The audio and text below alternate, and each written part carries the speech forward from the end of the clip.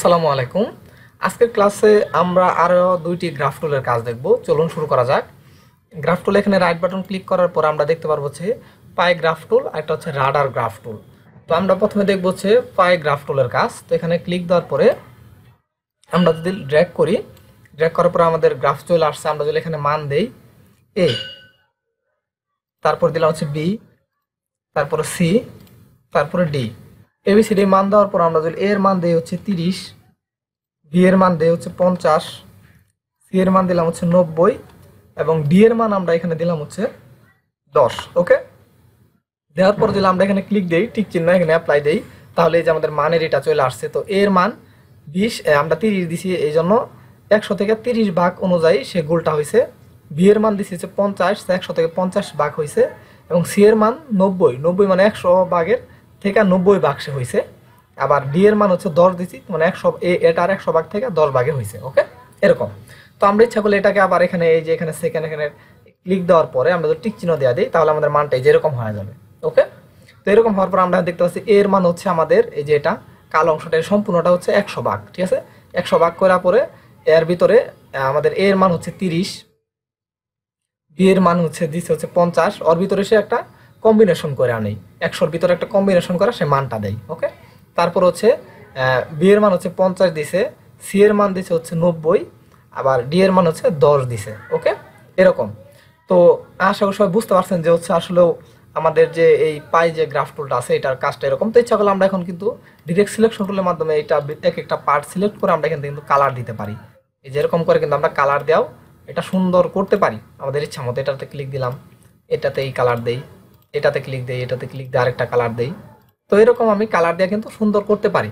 এরকম। তো এটা আমরা ডিলিট করে দেই। এখন এটা আমাদের দরকার নাই। আমরা এখন দেখব হচ্ছে এখান থেকে রাডার গ্রাফ টুল তো রাডার গ্রাফ টুলে ক্লিক দেওয়ার পরে যদি আমরা ক্লিক দিয়ে একটা ড্র্যাগ করি, একটু বড় করে নিব এটা আমরা, ঠিক আছে? তো বড় করে নিয়ে একটু সুবিধা হবে আমাদের। তো বড় করে নিলাম। নেওয়ার পর আমরা রাডার গ্রাফ টুলের কাজ হচ্ছে এখানে আমরা দিলাম হচ্ছে এ তারপর দিলাম হচ্ছে বি সি তারপর হচ্ছে ডি ওকে এবিসিডি দেওয়ার পরে এর মান আমরা দিব হচ্ছে এখান থেকে দিলাম হচ্ছে পঞ্চাশ। বি এর মান হচ্ছে এখান থেকে দিলাম হচ্ছে দশ। তারপরে সি এর মান দিলাম হচ্ছে এখান থেকে চল্লিশ এবং ডি এর মান এখান থেকে দিলাম হচ্ছে বিশ দিলাম ওকে জাস্ট চিহ্ন দেওয়া দিই এখান থেকে। তো এটা আমরা এখন দেখতে পারতেছি কি আমাদের যে রাডার সিস্টেমের কাজটা কীভাবে করেছে, এটা আমরা ক্লিক দিয়ে বেরোই আমরা এখানে দেখতে পাচ্ছি এর মান আমরা কত দিছিলাম এখানে যদি দেখি, পঞ্চাশ। তো এই যে এই গুল সার্কেলটাকে সে পাঁচটা ভাগে ভাগ করছে, যে একটা ভাগ, দুইটা ভাগ, তিনটা ভাগ, চারটা ভাগ, পাঁচটা ভাগ মানে দশ দশ করে, দশ, বিশ, তিরিশ, চল্লিশ, এই যে পঞ্চাশ।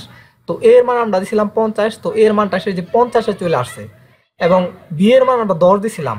এই যে বিয়ের যে জ্যাঙ্কর পয়েন্টটা কই, দশে না, এই যে এক, দুই, তিন, চার, পাঁচ মানে কি দশটা ভাগ করছে, এই বিয়ের মানটা সে দশে রাইখা দিছে। আবার আমরা সি এর মানটা করে দিছিলাম চল্লিশ, এই যে সি, এই যে সি এর মানটা আমাদের কত আছে? এক, দুই, তিন, চার। মানে কি, চল্লিশে আছে। আর এটা হচ্ছে পাঁচ মানে পঞ্চাশ মানে দশ দশ করে হিসাব করছে, চল্লিশে আছে। এবং আমাদের ডি এর মানটা আছে বিশে। এই যে ডি ডি এর মানে যে বিশে সেন্টার থেকে এক, দুই। এই যে বিশে আছে ওকে এই যে দশ, বিশ, তিরিশ, চল্লিশ, পঞ্চাশ। তো পঞ্চাশ হাইস দেখে পঞ্চাশ হিসাব করে সে নিছে, এরকম মান করে দিছে সে ওকে তো আশা করি বুঝতে পারছেন যে রাডার সিস্টেমটা কীভাবে কাজ করে। তো এখানে ক্লিক দেওয়ার, এখানে ক্লিক দিলে এখানে আবার এটার সিস্টেমটা আবার অন্যরকম হয়ে আসবে। এই যে এবিসিডি তো এখানে সেন্টার দিয়ে নিচে দশ দশ থেকে পঞ্চাশ পর্যন্ত নিচে। তো আমাদের এর মান আছে হচ্ছে পঞ্চাশ। এই যে পঞ্চাশ আছে কালার দিয়ে দিছে ব্ল্যাক তো বি এর মানটা আছে আমাদের কত? দশে। এই যে দশে। এই যে একটু সাদা সাদা করে দিছে, এই যে আমাদের দশে আছে। সি এর মানটা চল্লিশে আছে যে সি সি এর মানটা হচ্ছে এই যে চল্লিশে আছে। এবং আমাদের ডি এর মানটা হচ্ছে আমাদের কত আছে?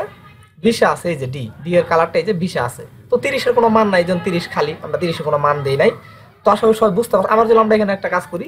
ই দিয়া দিই, ই দিয়া আমরা এখানে তিরিশ দিয়া দিলাম ওকে চিহ্ন দেওয়া দিই? এই যে তিরিশও চলে আসছে, ই। আমাদের কত ইয়ের কালারটা অনুযায়ী এই যে তিরিশে চলে আসছে। তো আশা করি আবার যদি আমরা ব্যাকে যাইতে চাই, এখানে ক্লিক দিয়ে এখানে যাব, তাহলে ওই রাডার সিস্টেম আবার চলে যাবে। তো আশা করি সবাই বুঝতে পারছেন যে আজকে আমাদের যে যে দুইটা টুলস দেখলাম হচ্ছে পাই গ্রাফ টুল পাই গ্রাফ টুল আরেকটা হচ্ছে আমাদের রাডার গ্রাফ টুল তো আজকের ক্লাসটা এই পর্যন্তই। সবাই ভালো থাকবেন। আসসালামু আলাইকুম